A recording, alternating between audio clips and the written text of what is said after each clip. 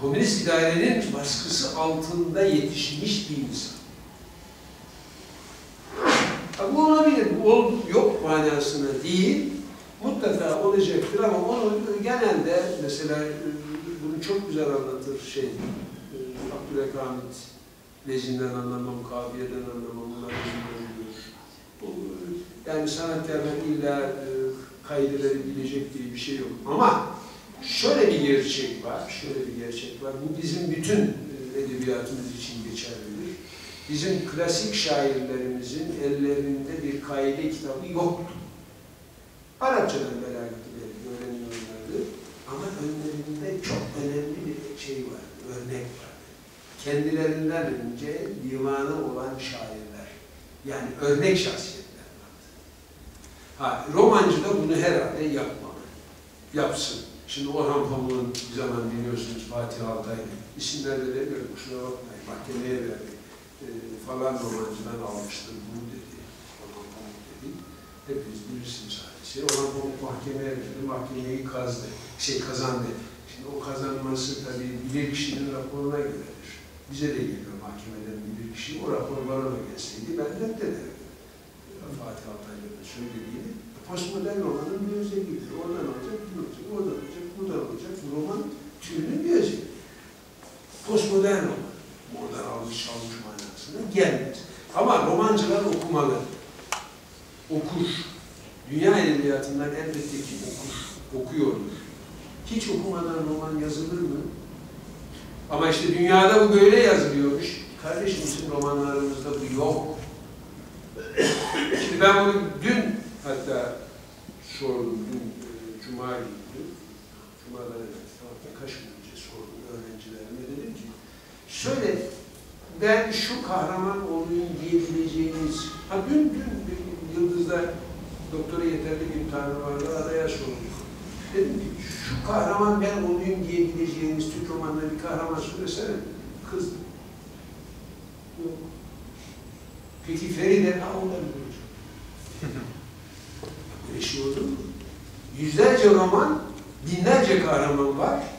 Benim genç kızımın, öğrencilerimin ben şu olayım diyebileceği bir kahraman yok. Erkeklerin var mı? Feride değil. Mümtaz Mümtaz olmaz. Mümtaz olur. Kaç kişi çıkar? Mümtaz olur. Yani hep böyle şey bir insan, mutlu olamamış bir insan. Mutluluk da yok. Nurhan'la evet şöyle yapıyorlar, böyle yapıyorlar falan da tam e, tam kendisi.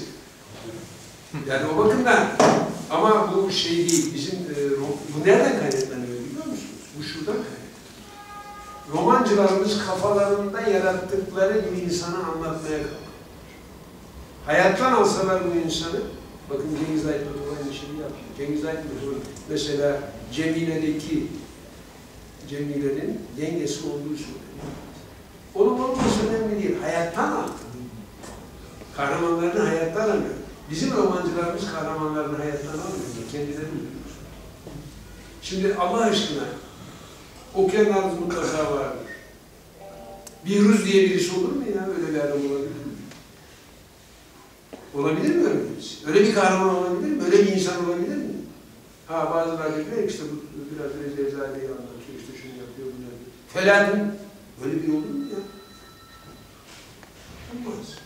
Kadar çok karikatürize ediyoruz ki veya idealleştiriyoruz. O değil benim söylediğim. Onun için okuyup okunması ayrı bir konu. Evet. Evet, oradan bir ses, bir parmak daha gördüm. Sayın Hocam, tarih bilim adamlarının aynı zamanda roman yazmasını nasıl değerlendiriyorsunuz hocam?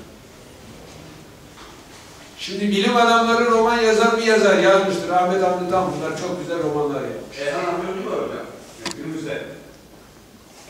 Erhan Afyoncu, ben görmedim, okumadım romanını. Bizim e, sağ olsun şey de yazıyor. Ee, İskender Pala da yazıyor. Evet. Ee, şeyden, Trabzon'dan bir hanım arkadaş, Nazan Bekiroğlu. Nazan Bekiroğlu da yazıyor. Müsaade edin de o konudaki görüşümü kendime saklayayım. bir şey söylemeyeyim. Çünkü arkadaşlarım hepsini tanıyoruz, siz de tanıyorsunuz. bir gün bir yerde bir şey söyledim ben. derste özel olsaydı ders, böyle açık konferans derste dediler ki işte Yahya Kemal için falan deist diyor. O anlamaz Yahya Kemal. Çocuklar da gitmişler söylemişler. Adama söylemişler. Kazım Nesin için böyle dedi demişler. Hocam burada da söylesene, biz de söylesek.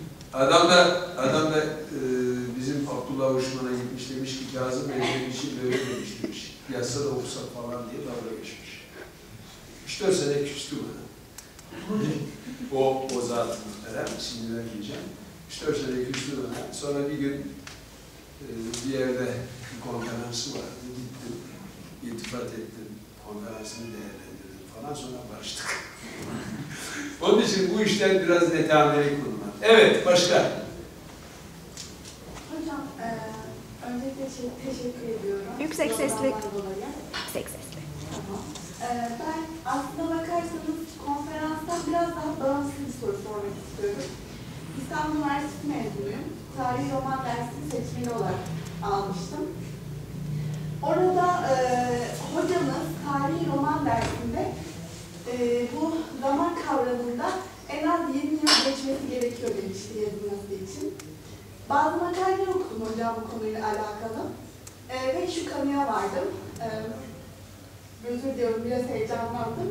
Ee, şey, Halil Ateşten Gömlek romanını bazı araştırmacılar tarihi roman olarak almıyor. Bu konuda sizin görüşünüz nedir? Şimdi bu çok tartışmalı bir konu. Eskiden 50 sene deniyordu. 50 sene deniyordu. Sonra 30, ben yaptırdığım çalışmalarda 20'ye hiç düşmedim. 30'dan aşağısını. Yani kendi yaşadığı mesela Kemal şeyin Tarık Buğra'nın küçük ovasını nasıl bertaraf ederiz?